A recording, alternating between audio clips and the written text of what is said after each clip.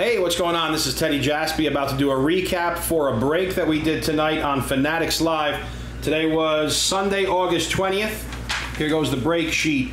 This was a six box, half a case of Chrome Baseball Hobby RT number five.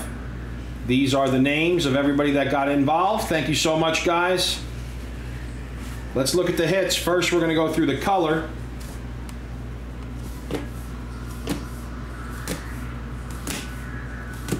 Riley Greene there.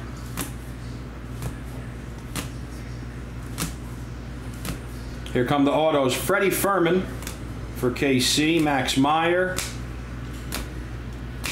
And nice orange wave for the Red Sox. Triston Casas out of 25. Boston was just Mike. Just Mike got the Red Sox. Again, that was RT number five from Fanatics Live Sunday night, August 20th. It was a six box, half case of Chrome Hobby. Thank you.